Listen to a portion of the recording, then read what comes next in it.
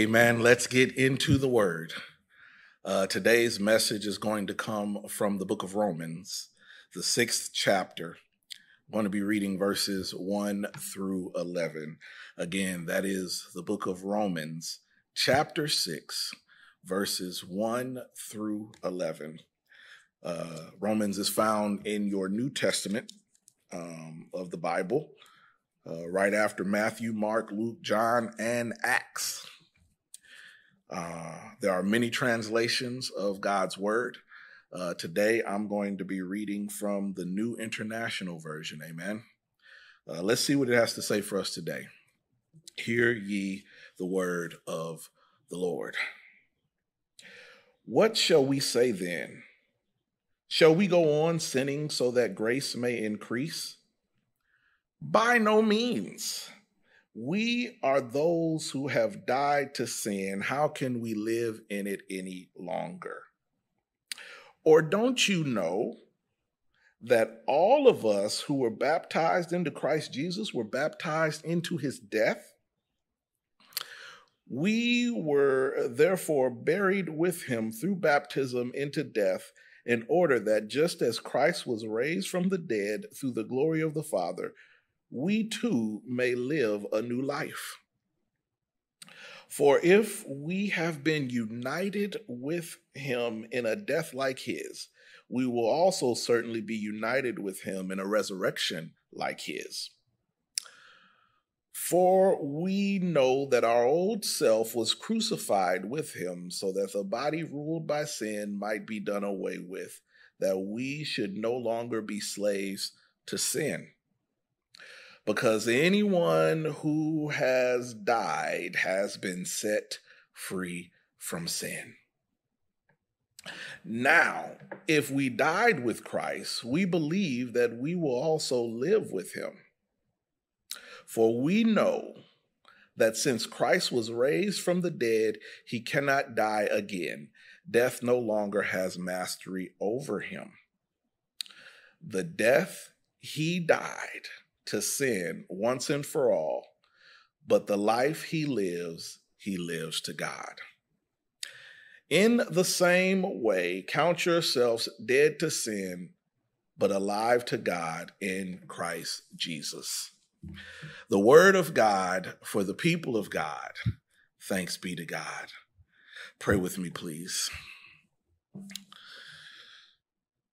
O Lord our God, how excellent is your name in all the earth. From the rising of the sun to the going down of the same, your name is great and greatly to be praised.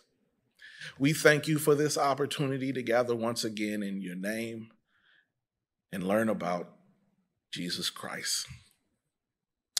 God, I ask that the words of my mouth and the meditation of all our hearts be acceptable in your sight. Hide me behind your cross so that people don't see me, but they see Jesus. And if there is anybody that wants to know Christ Jesus and the pardoning of their sins, they'll ask, What must I do to become saved? It is in your darling Son, Christ Jesus' name, we pray. Amen. Uh, for the time that we get to spend together today, I'd like to talk a little bit about wanted, dead, and alive wanted, dead, and alive. Dead and alive. That is not a typo. I know many may be familiar with the phrase from old Western movies where they'd have the posters up and some criminal's picture in the middle of the poster and it would say wanted, dead, or alive. Uh, some might even go to the point and say wanted, preferably dead, but this is wanted, dead, and alive. Uh, a phrase I say often uh, in my life is uh, this is not an either or situation, but a both and. I see conditions that are not just black and white, but sometimes gray. Uh, I listen to a gospel album often where there's an interlude in the gospel album, and a bishop gets up to talk, and he talks about his granddaughter. And he talks about how his granddaughter uh, will say, My head is hurting.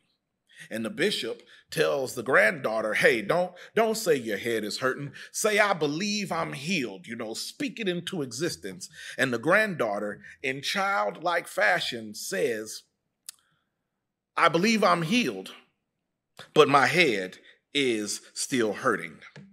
It is like that in the kingdom of God. Uh, little known fact, but in order to get commissioned in the United Methodist Church, uh, you have to go through several interviews. And in some of those interviews, you get questioned, whether it's a commissioning interview or an ordination interview, about the kingdom of God. And they look for buzzwords. I'm not supposed to say that out loud, but uh, yeah, they look, they want to hear certain buzzwords in your interview. And one of the buzzwords they want to hear when you talk about the kingdom of God is that the kingdom of God is already and not yet. It is already here because of Christ's work on the cross. But the kingdom of God is not yet because Christ has not returned yet, already and not yet, not either or, but rather both and. The new age has come, but the old age has not yet gone. Uh, and that's the already and the not yet when you want to be dead to sin and alive in Christ. Paul is ta- is describing a both and situation in Romans chapter 6 when he wants believers to be dead to sin and alive in Christ. So Paul is letting the people know that they are on their own wanted poster uh, for many reasons. Uh, for the early church, it's both a symbolic and a literal wanted. Uh, they it is true that they are wanted when Paul is writing this first letter to the church at Rome, because the believers uh, they they are in here having a religion that is opposed to the Roman government. Uh, Rome is re- very clear that you have no king except Caesar, and these people are worshiping the King of Kings and the Lord of Lords. And so many early believers were followed, harassed, imprisoned, even executed. And, and some of those adventures uh, and, and, and, stories are, are, covered in the book of Acts. And uh, the occasional reference is made by Paul in some of his letters. But if you identified, they didn't call it Christianity back then, they called it the way. But if you were a follower of the way, you could become a wanted man or woman. It was risky business. But the author of the text also says that not only are they wanted because they are being persecuted for their faith, but they're wanted in another sense, a symbolic and spiritual one. God wants us in so many ways. God wants us to walk in the spirit, to be unceasing in our prayer life, to be holy, and to enshrine our daily lives in the fruits of the spirit. God wants us to love the Lord with all our heart and all our minds and all our souls. God wants us to love our neighbors as ourselves. God wants us to do these things. And Paul focuses on this aspect of being wanted. And being wanted and a believer uh, uh, uh, and being a follower of Jesus means that we're to be wanted dead and alive. Uh, and he explains what he means.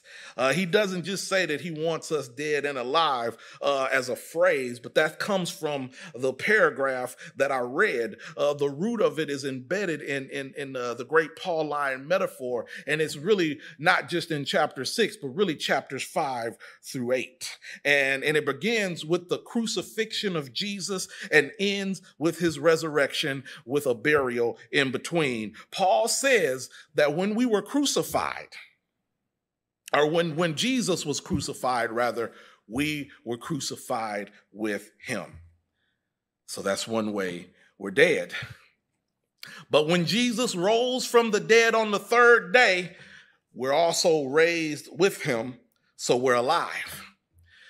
Dead to sin and our old fallen human nature, and alive in new life in Christ. Both and, not either or. In between, there is a burial. Uh, Jesus was buried in a borrowed tomb. When we are baptized, that symbolizes the burial. We go down into the waters and come out revived, more than just wet. We come out with new resurrection and life.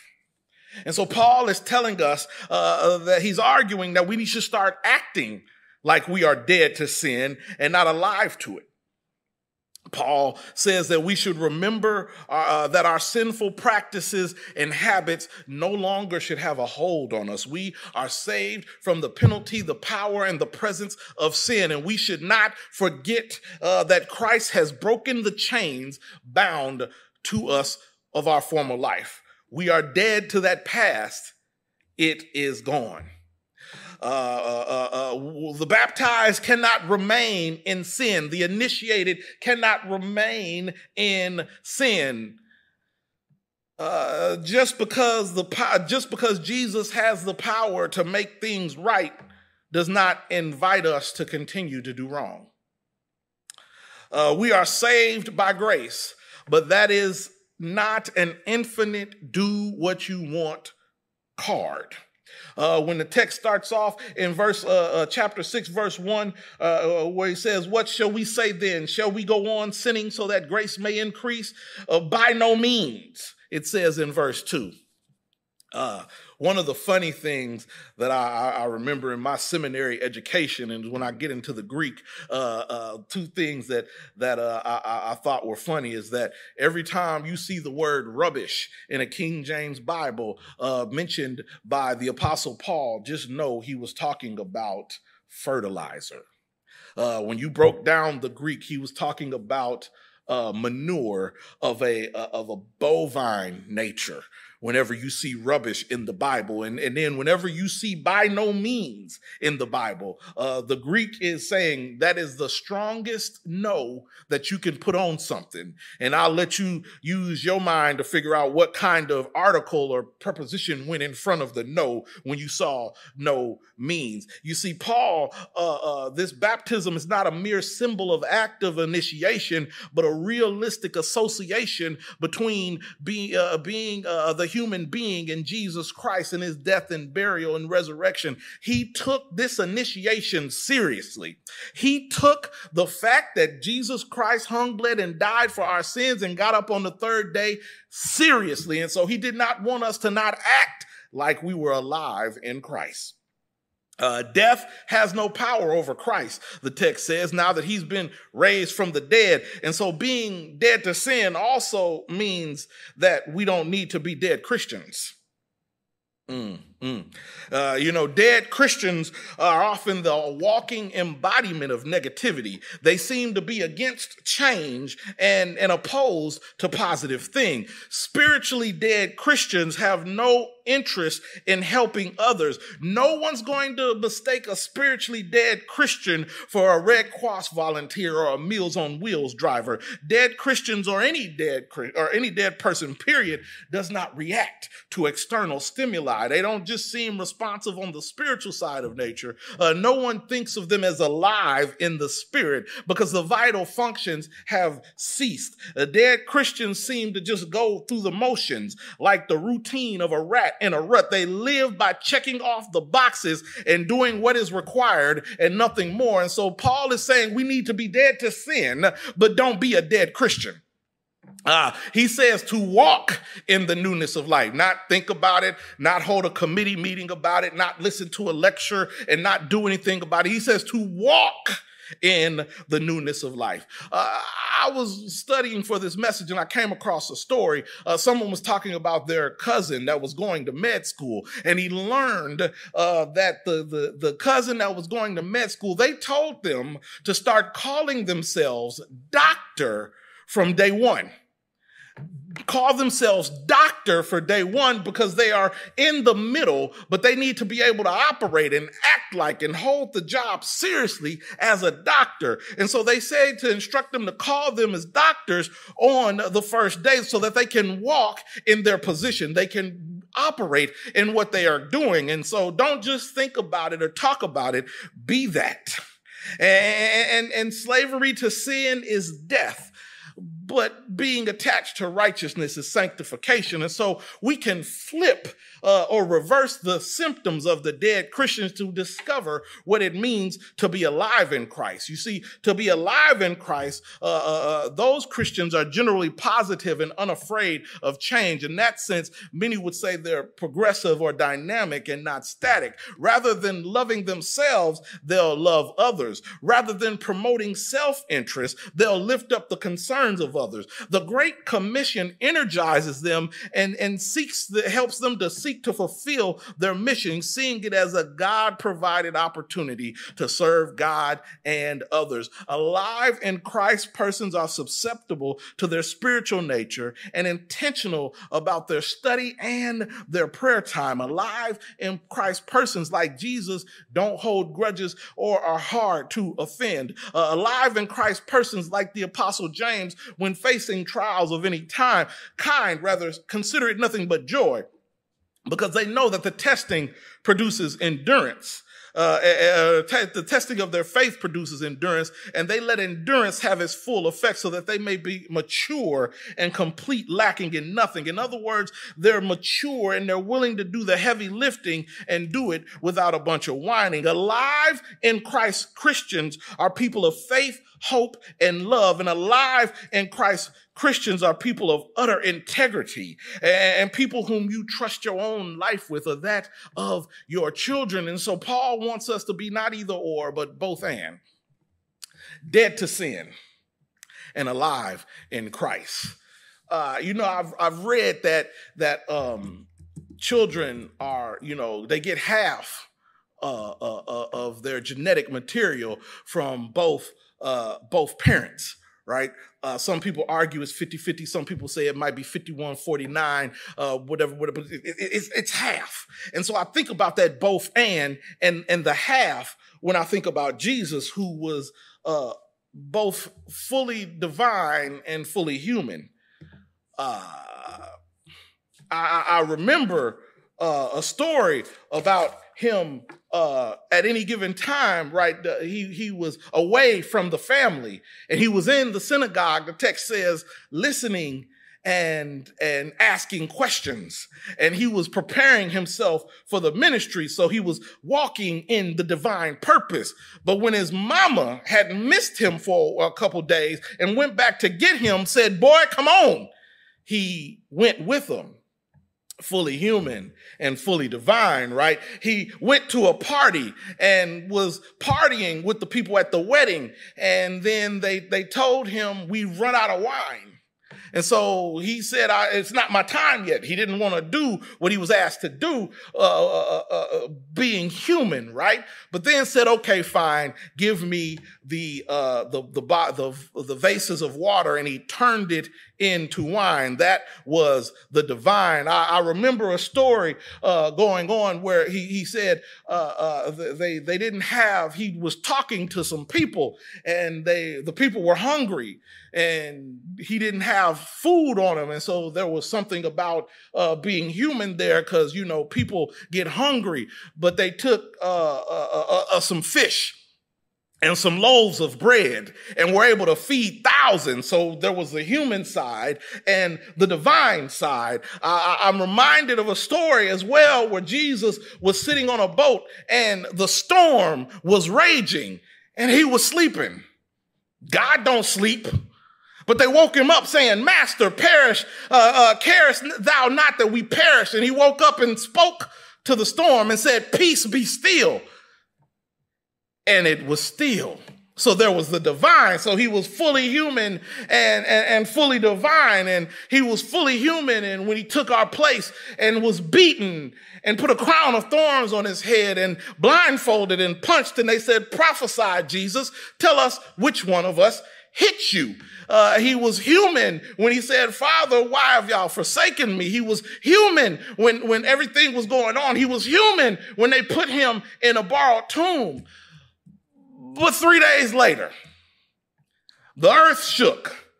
The stone rolled away and the tomb was empty, both human and divine. And that same power that was in him is the same power that allows us all to be dead to sin and alive in Christ. In the name of the Father, the Son, and the Holy Spirit, the doors of the church are open and we invite you to come. Pray with me, please. O Lord our God, how excellent is your name in all the earth. From the rising of the sun to the going down of the same, your name is great and greatly to be praised. We thank you for the word that went forth, for those who heard it and those who will hear it later that if there is anybody that desires to know Christ Jesus and the pardon of their sins, they'll ask, What must I do to become saved? Lord God, we ask that your Holy Spirit spread this word to your holy people, for your holy church, in your holy kingdom. Let this be a seed that is planted in soil and produces a, a great harvest 30, 60, 100 fold. It is in your darling Son, Jesus Christ's name, we pray. Amen. Thank you so much for watching this video. Please be sure to like, comment, subscribe, and share. Don't forget to connect with me on social media, Pastor Johnnie Simpson Jr. on Facebook, at Pastor J. Simp Jr. on Instagram and Twitter. Thanks again for watching, and God bless.